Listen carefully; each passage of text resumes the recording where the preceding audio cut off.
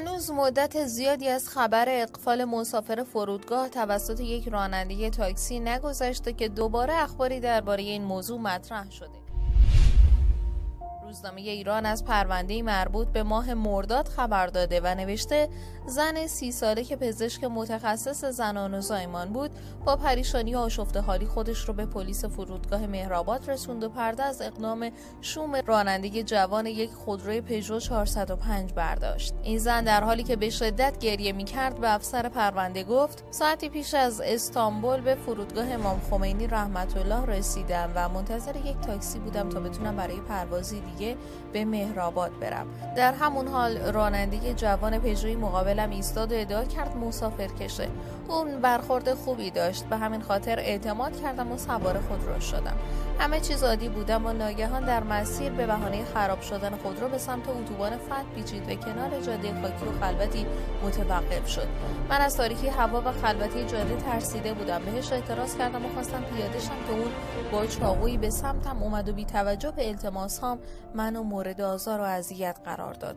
توی اون لحظه تنها چیزی که به ذهنم رسید این بود که بگم ایدز دارم تا دست از سرم برداره. وقتی این حرف از دهانم بیرون اومد اون به شدت کتکم زد و منو در بیابان رها کرد و خودروش دور شد.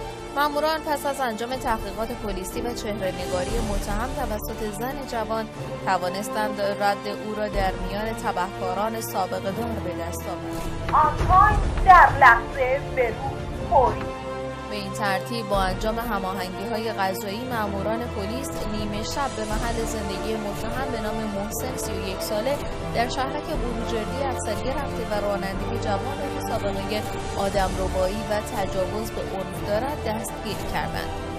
از آنجا که متهم با خواهر، مادر و پدرش در این خانه زندگی می‌کرد اعضای خانوادهش در برابر ماموران مقاومت کردند اما او موفق به فرار نشد.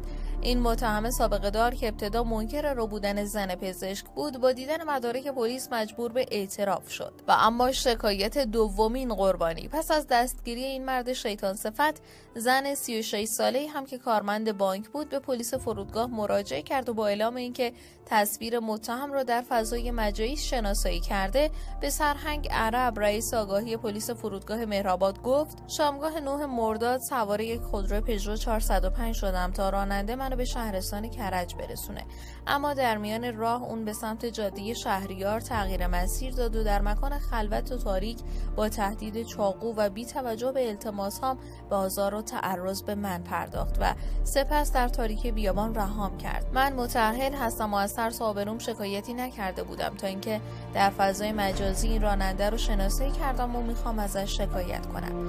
با اظهارات این زن متهم از زندان به اداره آگاهی احضار شد و به آزار و اذیت کارمند بانک نیز اعتراف کرد و با این اعتراف با قرار دو میلیارد ریالی به زندان رجایی کرج انتقال یافت تا به جرایم احتمالی دیگر او نیز رسیدگی شود. خبر